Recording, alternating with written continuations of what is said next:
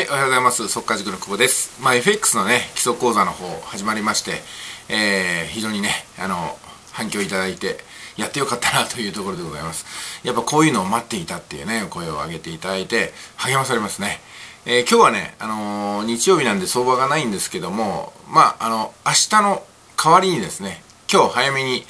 これからの展開を、12日間の展開をちょっとお話していこうかと思います。じゃあ画面を切り替えてですね、チャートの方を見ていきましょう。まあ大事なのは、この今、ウィークリー見てるんですけども、これが上目線なのか下目線なのか、要するに、えー、これからね、えー、上昇に向かっていくのか、もしくは下落に向かっていくのかってことを大枠で捉えていくことなんですよ。これどう思います？ウィークリー。今までも何度かお話してきてるんでもう分かっていらっしゃる方もいると思いますけどもまあいつも通りあれ例のポイント引きましょうか。これはもうね何年も前から同じなんでずっと引かせてもらいますけどもこうですね。で大枠ではこういうふうな2つの山があるかなということですよね。ね、上目線か下目線かですよ。これからどっちの方向に向かおうとしてるのかってことを今までの形によって考えるんですけど今までの形は高値が切り下がっていて安値は変わってないのかなってことですよね。こうですね。で、えー、直近の動きっていうのがこういうふうになっています。ということなんでまあ下目線ですよね。ウィークリーはずっと下目線下目線って言ってるんでまさにこれがね上目線ですよっていう捉え方をする方はいないと思いますけどね。じゃあ次はデイリーです。デイリー1日足はどうでしょうかね。これももうお分かりでしょうかね？もう何度も何度もお話してますけども三角形がこうある。三角形がこうある。三角形がこうある。ね。でここにもまたできた。ということですね。高値は切り下がっている。安値も切り下がっている、まあ、ですんでこっちの方向向かってますよね。週足と日足が両方とも下目線ってことは売りで勝てる可能性が非常に高いってことです。次は4時間足です。これはどうでしょうかね。以前引いた線ではこういうふうに下目線っていうふうにねお話ししていたと思いますけどもここを超えてブレイクが入ったんですね。だから上に突き抜けていったと。でも全体的なトレンドの流れに向かうのか今ちょっとここでね頭打ちになっているっていうところですね、うん、これやっぱり下目線だと言えます。まああのここを破った時は一時的な買いなんですよ。あくまで一時的にね。でも実際にはトレンドの方向に向かっていきますんで、えー、まあ売りかなっていうところですね。じゃああ1時間ですけどもどうでしょうか。1時間はここだけ見ると上目線なんですよ。うん、ただ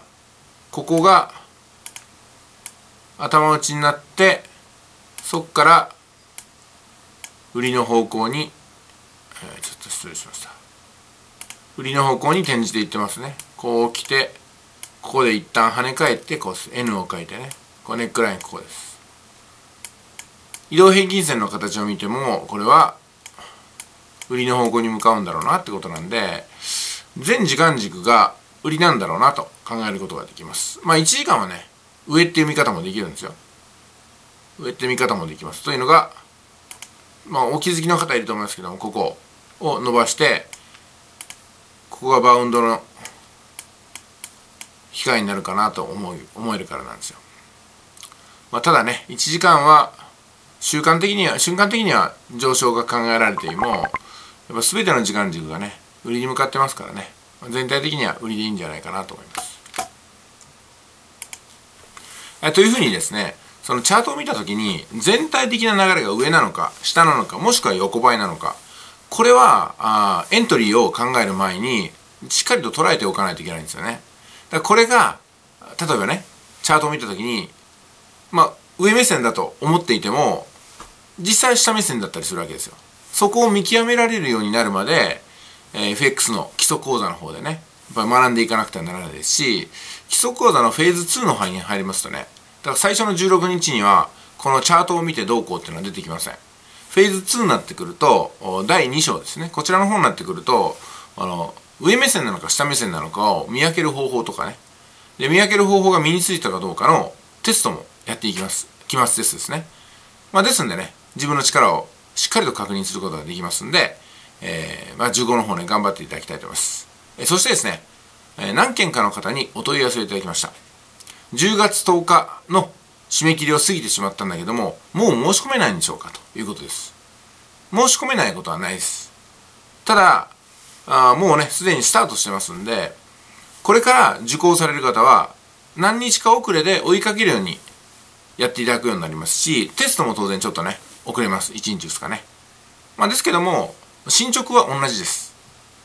10月10日スタートのチームともしかしたら10月15日スタートのチームと5日遅れですけども同じプログラムで走りますんで問題なく